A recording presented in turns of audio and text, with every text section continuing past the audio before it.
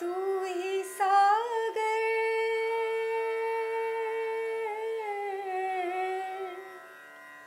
तू ही सागर है, तू ही किनारा। ढूंढता है तो किसका सहारा। ढूंढता है तो किसका સહારા જીવનમાં નાની નાની વાતોનો સરવાળો જ આપણને મહાનતા બક્ષે છે. મોટાઈ શૈલી છે, પણ મહાનતા આવવી અઘરી છે. નાની નાની વાતો જાણીએ અને મહાનતા તરફ કેવી રીતે પ્રયાણ એ વ્યક્તિઓએ કર્યું છે તેની નોંધ લઈએ. મહેન્દ્રભાઈને યુવાનીમાં શ્રમ કરવા માટે રોજ એક કલાક દળવાનો શોખ.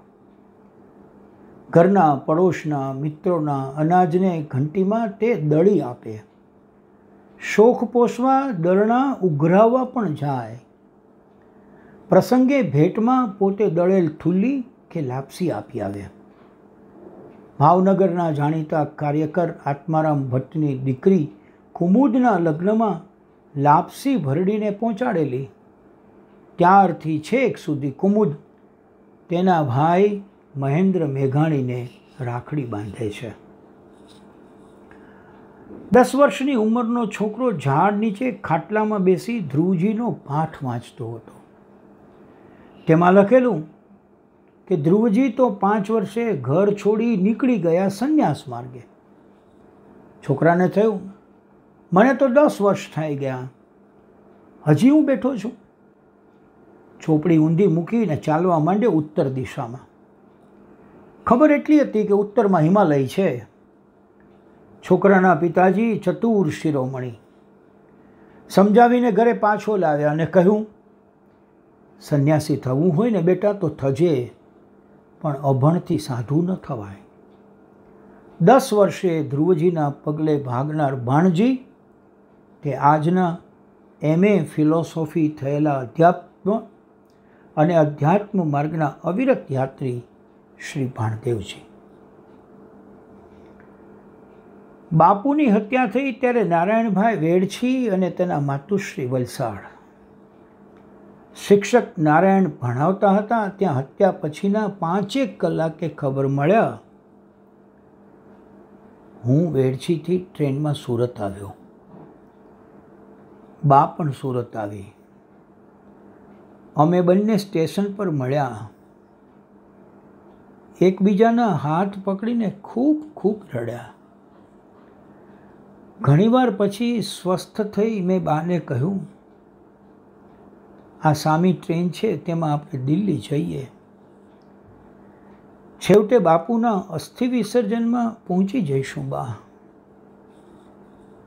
મારી બાએ મારો હાથ પકડીને કહ્યું, બેટા, તું જે કરે છે ને, તે બાપુનું કામ છે. તે ચાલુ રાખ. દિલ્હી જવાની જરૂર નથી. ત્યારથી જીવનના અંત સુધી નારાયણભાઈ દેસાઈ બાપુનું કામ કરતા રહ્યા. લાડકોટમાં ઉછર્યા હતા પુંજલ રબારી. પશુ દવાખાનામાં કમ્પાઉન્ડર તરીકે મૂંગા જીવની સેવા કરી. સૂરજબારીના પુલ પાસે ઘેટા બકરાનો ઠાહો પુંજલભાઈ બસમાંથી હેઠા ઉતર્યા અને આગળ હાલતા રબારાને કીધું, હવે આમને ભણાવો ભણાવો. ક્યાં સુધી ઊંટિયા ઉપર ઊંધે ખાટલે બેસાડી રાખશો? જવાબ મળ્યો, ભગત, તને સૂજે છે બધું. અંજારમાં સમાજવાડીમાં ભાષણ કરતો તો ઈ જ ને તું પુંજલ રબારી. હા?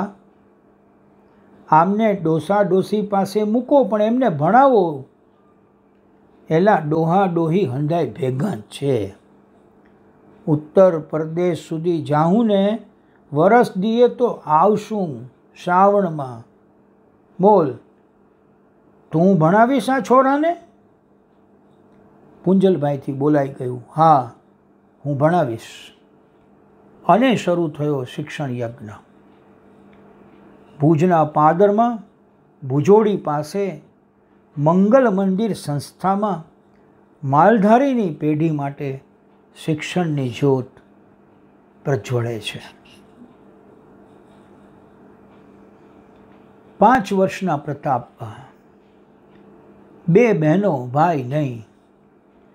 બધી બહેનો ભાઈને પસલીનો દોરો બાંધે તો હું કેમ નહીં?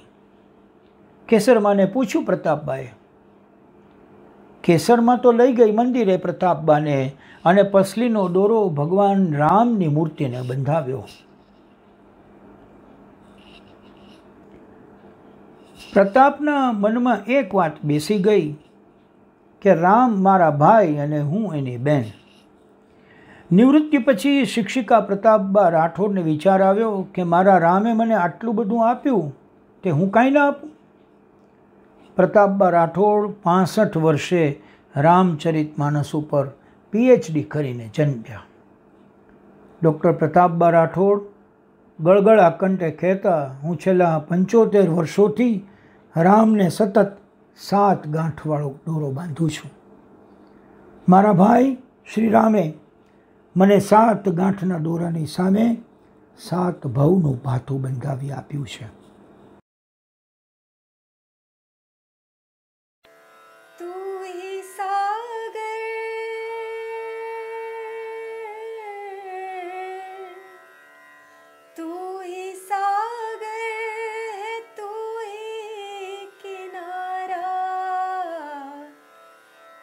ढूंढता है तो किसका सहारा